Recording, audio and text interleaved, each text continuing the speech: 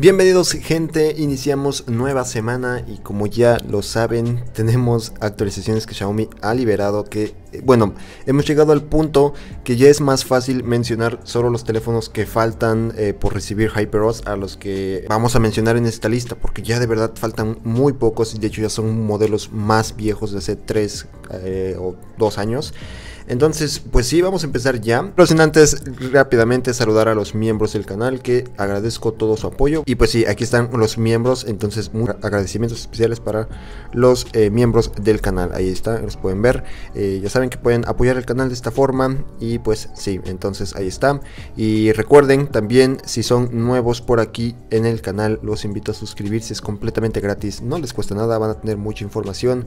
Y pues bueno, vamos a empezar ahora sí. Pues bien, afortunadamente yo he acertado con mis fechas de salida de HyperOS. Bueno, eh, actualizaciones que van saliendo, ¿no? Eh, lo pueden eh, verificar en videos anteriores que me preguntan cuándo saldrá para tal modelo y yo les, les, doy aproximadamente una fecha y pues sí, afortunadamente como les comento, le he acertado, ¿no? Entonces sí están llegando. Vean, son bastantes actualizaciones.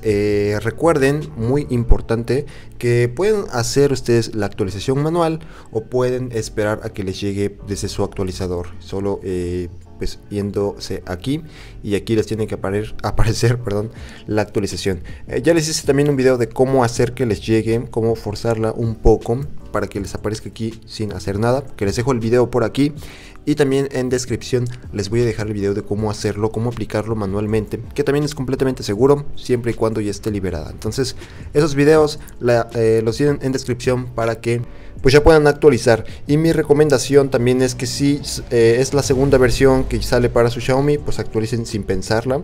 Si es la primera, pues igual yo recomendaría que esperen a que les llegue desde su actualizador.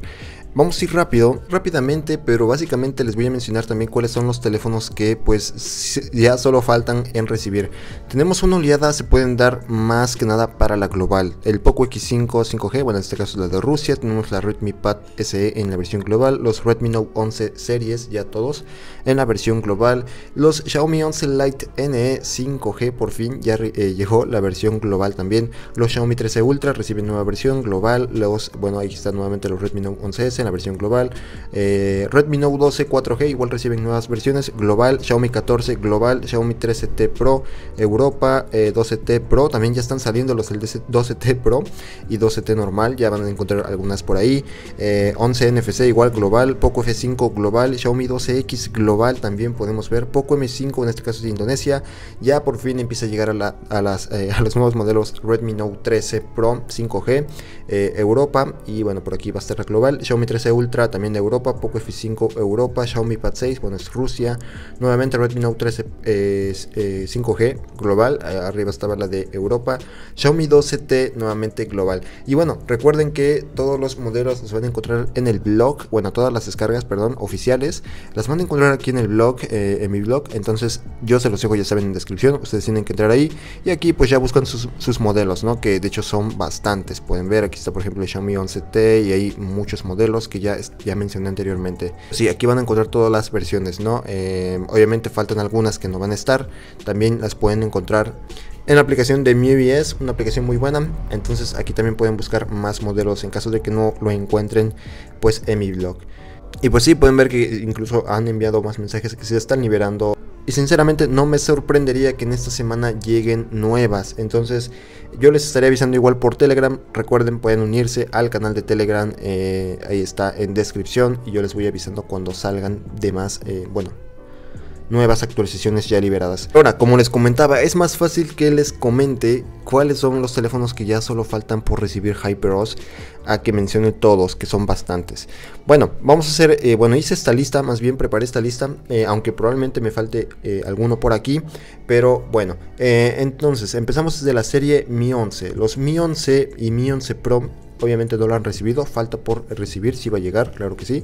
El 11 Ultra también no ha llegado y también algunos Mi 11T, porque vi, bueno, de hecho el Mi 11T Pro que el Mi 11 ya está recibiendo, eh, Mi 11T, perdón, ya está recibiendo algunas regiones, pero el Mi 11T Pro no se ha visto. Pero bueno, igual el Pro y el Ultra pues tampoco, entonces Solo es cuestión de tener paciencia. Probablemente llegue en esta o la siguiente semana.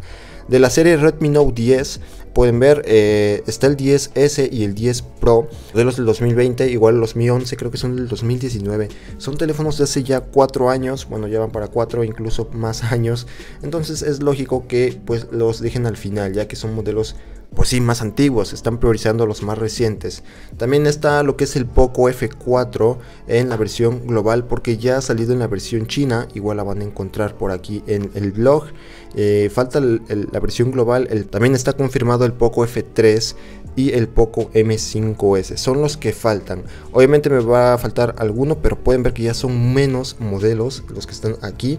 Obviamente los, la serie Redmi Note 9 y más eh, teléfonos más antiguos no van a recibir esta versión. Ya terminó su año de soporte. Ya 4 o 5 años ya creo que todas las marcas lo hacen, ¿no?